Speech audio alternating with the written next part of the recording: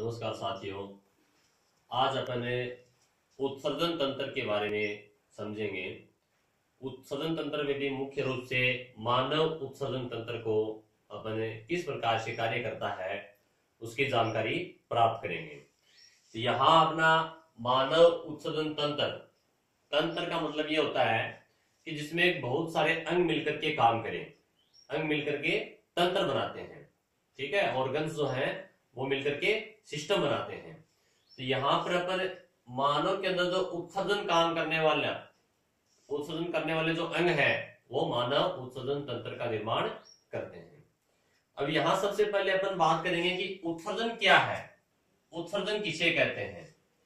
उत्सर्जन जो है, उसकी डेफिनेशन परिभाषा ये है कि सजीवों के शरीर में जो होने वाले कैटाबोलिक रिएक्शंस हैं कैटाबोलिक रिएक्शन यानी कि अपने शरीर में दो प्रकार की रिएक्शन होती हैं एनाबोलिक और केटाबोलिक एनाबोलिक जो रिएक्शंस हैं, उनमें पदार्थों का निर्माण होता है और केटाबोलिक जो रिएक्शंस है, उसमें पदार्थ टूटते हैं।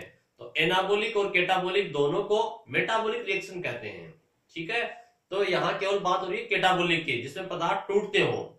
और मोस्टली अपना जो भोजन है, उस भोजन में अपन ने कार्बोहाइड्रेट और प्रोटीन जो अपन ग्रहण किया है, उसमें जो प्रोटीन है वो प्रोटीन जो है, वो प्रोटीन मिलके बनता है एमिनो एसिड से। और एमिनो एसिड क्या होता है? एमिनो समूह, ठीक है? एमिनो ग्रुप होता है। तो एमिनो ग्रुप जो है, वहाँ से उससे यूरिया बनती है, या एमिनो जो है, उससे यूरिक एसिड बनता है, या अमोनिया गैस बनती है। ये सारी जो प्रोसेस है, यानी प्रोटीन का अणु टूट करके, और उससे उत्सर्जित पदार्थ जो है, वो बनाता है, वो अपना, उसको अपन समझेंगे।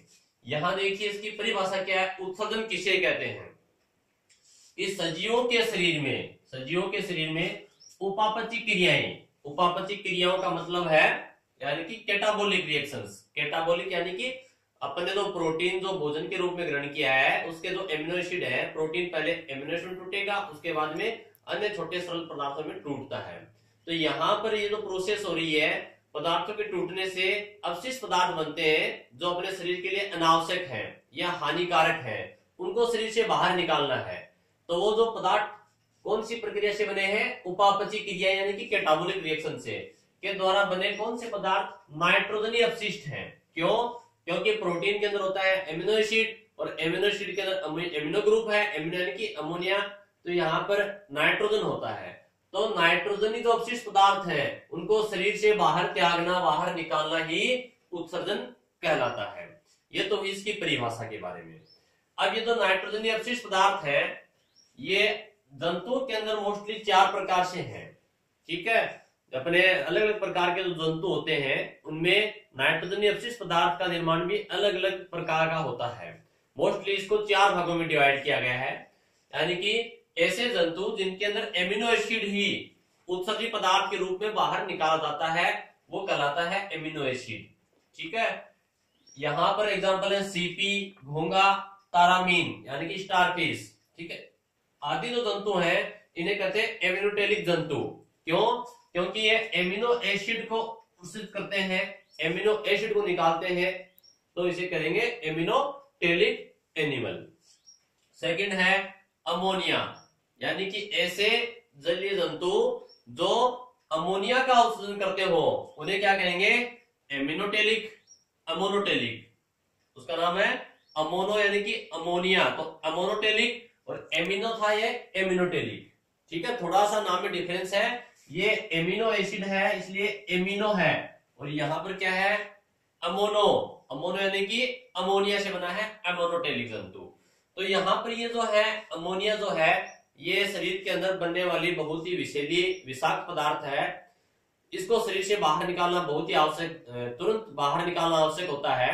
इसलिए जो जलीय जंतु है, चूँकि अमोनिया जल में घुलनशील होती है, इसलिए जलीय जंतु जो है वो अमोनिया बना करके और जल के माध्यम से सीधा उसको बाहर निकाल देते हैं। तो यहाँ पर जलीय जंतु जलीय जंतु जैसे कौन कौन से हैं?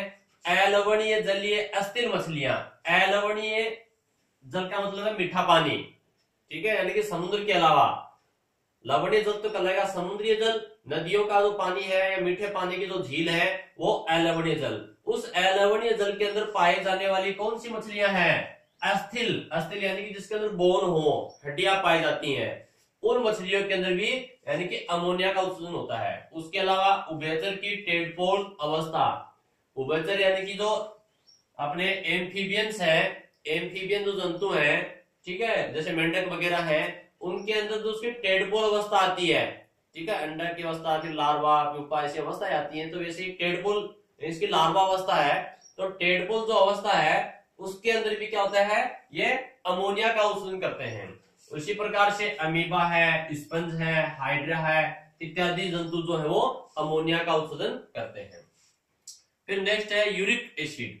देखिए, ये यूरिक एसिड जो है यह जल में घुलनशील नहीं है। ये पानी में नहीं घुलता है और ये मोस्टली जो पक्षियों के अंदर या जो सरीसृप है, यानी कि रेप्टिलिया ठीक है, सरीसृप और पक्षी एवीज और रेप्टिलिया इंसेक्ट जो है, कीट है और मरुस्थलीय जीव, ठीक है।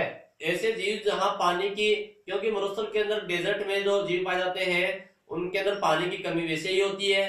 तो यहाँ पर इन जीवों के अंदर क्या बनता है? यूरिक एसिड बनता है और यूरिक एसिड का उत्सर्जन करने वाले जीव कहलाते हैं यूरिकोटेलिक। क्या कहलाएँगे? यूरिकोटेलिक। और लास्ट प्रकार के जो जीव है वो है यूरिया का उत्सर्जन करने वाले जीव। ठीक है? इसमें मनुष्य भी शामिल है। तो यूरिया जो है उसका फार्मूला होता है NH2CO NH2 तो यूरिया का उत्सर्जन करने वाले जीव जो है, उनके एग्जांपल्स हैं स्तनधारी, यानी कि जितने भी मेमेलिया वर्ग के प्राणी है वो। और उभयचर। अब देखिएगा, उभयचर नाम ऊपर भी आया था, यहाँ पर अमोनिया में, परंतु यहाँ उभयचर की केवल कौन सी अवस्था थी? टेडपोल अवस्था थी। ठीक है? और ये उभयचर की वेस्क अवस्था है। कौन सी है? वेस्क अवस्था है। ठीक है? और उसी प्रकार से समुद्री, इस बार समुद्री मछलियाँ कौन सी? उपास्तिल मछलियाँ। उपास्तिल का मतलब यह है, जिनमें हड्डी नहीं होती है, केवल उपास्थि होती है। अस्थि यानी कि हड्डी और उपास्थि यानी कि केवल मांसपेशियों से बनी हुई। मछलियाँ ये कहलाती हैं यूरियोटेलिक, यूरियो यानी कि यूरिया का उत्सर्जन करने वाले। ठीक है? तो इस प्रकार से नाइट्रोजनी जो अवशिष्ट पदार्थ है, उनके आधार पर जंतुओं को चार भागों में बांटा गया है। एक तो है एमिनोटेलिक एक है अमोनोटेलिक यूरियोटेलिक और ये लास्ट है यूरिकोटेलिक और यूरियोटेलिक ठीक है? इस प्रकार से इनके नाम रखे गए हैं। अब एक इंपॉर्टेंट क्वेश्चन बन जाता है कि अपना जो उत्सर्जन तंत्र है जीवों में सजीवों में, वो क्या काम करता है? उसका मेन रोल क्या है? मुख्य कार्य क्या है? ऐसा होने से क्या फ़ायदा है? तो उसे अपन कहते हैं समस्थेतिक क्रिया होमोस्टेटिक एक्टिविटी समस्थेतिक का मतलब यह है सम माने समान, स्थिति बनी रहे। अपना जो शरीर के अंदर का जो वातावरण है, वो चाहे बाहर का वातावरण कैसा भी हो, सर्दी, गर्मी, या फिर मान लीजिए अधिक सांद्रता, लवणता, बाहर के वातावरण और जंतु के शरीर के अंदर की जो वातावरण है, वो अंदर का वातावरण हमेशा स्थिर बना रहे सम स्थिति यानी कि सदैव समान बना रहे। तो उस स्थिति को कहते हैं सम स्थिति अवस्था या समस्थितिक क्रिया। तो ये समस्थितिक जो क्रिया होती है, इसको कंट्रोल कौन करता है? अपने शरीर के अंदर मुख्य दो तंत्र हैं, एक तो अपना उत्सर्जन तंत्र और एक श्वसन तंत्र। ये दोनों मिलकर के अपने शरीर के जो अंदर का वातावरण है, उसकी स्थिति को सदैव समान बनाए रखते हैं। इसलिए यहाँ पर ये दोनों तंत्र उत्सर्जन तंत्र और श्वसन तंत्र जो है, ये इसको नियंत्रित करते हैं। किसको समस्थितिक क्रिया को, यानी कि इसकी परिभाषा ये है कि शरीर के आंतरिक वातावरण, शरीर के अंदर के जो वातावरण है, उसको स्थायी बनाए रखने की क्रिया जो है वो कहलाती है समस्थितिक क्रिया और इसका नियंत्रण उत्सर्जन तंत्र और श्वसन तंत्र के द्वारा किया जाता है। अब यहाँ पर एक क्वेश्चन ये देखेंगे कि एग्ज़ाम्स में पूछा जाता है कि किस संघ के जंतु के अंदर किस प्रकार के उत्सर्जी अंग पाए जाते हैं? कभी कभार एग्ज़ाम में यानी कि संघ का नाम दे दिया जाता है और उसमें पाए जाने वाले जो उत्सर्जी अंग है, उनका क्वेश्चन पूछ लेते हैं। परंतु कभी कभी संघ का नाम न देकर के उस प्राणी का नाम, जिस संघ का वो जंतु है, उस संघ के जंतु का नाम देकर के उसके उत्सर्जी अंगों के बारे में पूछा जाता है। तो ये एग्ज़ाम के लिए बहुत ही इंपोर्टेंट पॉइंट बनता है यहाँ से। जो अक्सर एग्ज़ाम में जो पूछे जाते हैं, वो मैन मैन जो मुख्य जो संघ है या मुख्य जो प्राणी है या उनमें पाए जाने वाले जो इंपोर्टेंट जो उत्सर्जी अंग है, वहाँ से अपन यहाँ इसके बारे में थोड़ा समझेंगे। जैसे मान लीजिए प्रोटोजोआ एक संघ है प्रोटोजोआ संघ का प्राणी है अमीबा ठीक है, यानी प्रोटोजोआ संघ के जो जंतु हैं, उनके अंदर संकुचनशील रसधानी पाई जाती है। यानी कि अमीबा की संरचना इस प्रकार से है, अनियमित आकार का, और इसमें संकुचनशील रसधानी होती है, जिसके द्वारा पदार्थों का उत्सर्जन होता है। और ये होता है विस्तरण की विधि के द्वारा डिफ्यूजन के द्वारा। तो संकुचनशील जो रसधानी है, वो अमीबा में या फिर प्रोटोजोआ संघ के प्राणियों में पाई जाती है, जो कि एक प्रकार का उत्सर्जी अंग है। उसी प्रकार से दूसरा है प्लेटी हेलमेंथीज प्लेटी हेलमेंथीज जो संघ है, उस संघ के प्राणियों को चपटे कर्मी भी कहते हैं। चपटे कर्मी यानी कि, जैसे मान लीजिए प्लेनेरिया है तो प्लेनेरिया जो है, उसकी संरचना कुछ कुछ इस प्रकार से होती है कि प्लेनेरिया जो है ये इसके खास विशेषता ये है कि इसके अगर टुकड़े कर दिए जाए तो इसमें कायिक जनन के द्वारा नया पूरा जीव बन जाता है। ठीक है? वैसे अपन बात कर रहे हैं यहाँ उत्सर्जीयन की तो प्लेनेरिया जो है, एक प्रकार का चपटा कर्मी है, यानी कि प्लेटी में आता है, और इसमें ज्वाला कोशिकाएँ, यानी कि फ्लेम सेल्स पाई जाती हैं। ज्वाला जो कोशिकाएँ हैं, वो ही उत्सर्जन का काम करती हैं, और ये जो कोशिकाएँ वो प्रोटोनेफ्रिडिया यानी कि आदि वृक्क बनाती हैं। आदि यानी कि जो कम विकसित है, ठीक है? आदि हम लोग कम विकसित। प्रोटो यानी कि प्रारंभिक अवस्था में नेफ्रीडिया बनते हैं। नेफ्रीडिया के पहले लग गया प्रोटो। प्रोटो नेफ्रीडिया यानी कि आदि वृक्क नेफ्रीडिया को कहते हैं वृक्क तो ये आदि वृक्क बनाती हैं कौन सी ज्वाला कोशिकाएँ। तो उसका उत्सर्जी अंग का नाम हो गया ज्वाला कोशिका या प्रोटोनेफ्रीडिया इसी प्रकार से तीसरा जो इंपोर्टेंट है वो है एनेलिडा। एनेलिडा संघ के जो जीव है, उसमें केचुआ इंपोर्टेंट है और केचुए के अंदर होते हैं नेफ्रीडिया। यानी कि प्रोटोनेफ्रीडिया था, यह विकसित हो गया थोड़ा सा तो नेफ्रिडिया कहलाएगा वृक्कक। ठीक है, या नेफ्रिडिया बोल दीजिए, हिंदी में वृक्कक। ये क्या है, उसके उत्सर्जी अंग है, जिससे ये उत्सर्जी पदार्थों को बाहर निकालते हैं। नेक्स्ट है आर्थोपोडा संघ के प्राणी। आर्थोपोडा संघ के प्राणी इसको कीट वर्ग भी कहते हैं, क्योंकि इसमें मोस्टली कीट जो है इंसेक्ट जो है, वो सारे इसी में शामिल है। कीट, या फिर मान लीजिए, कई बार ये कॉकरोच या तिलचट्टा। हिंदी में इसको तिलचट्टा कहते हैं, इंग्लिश में कॉकरोच। तो कॉकरोच या तिलचट्टे के अंदर जो मुख्य उत्सर्जन है, वो है एक तो ग्रीन ग्रंथियाँ। ठीक है, यानी कि जो हरित जो ग्रंथियाँ हैं, ग्रीन ग्लैंड्स हैं, वो पाई जाती हैं, या फिर मेलपीजियन नलिकाएँ। इनको मेलपीजियन नलिकाएँ भी कहते हैं, ये ट्यूब्स होती हैं, मेलपीजियन, ये काम करती है उत्सर्जन का। ठीक है?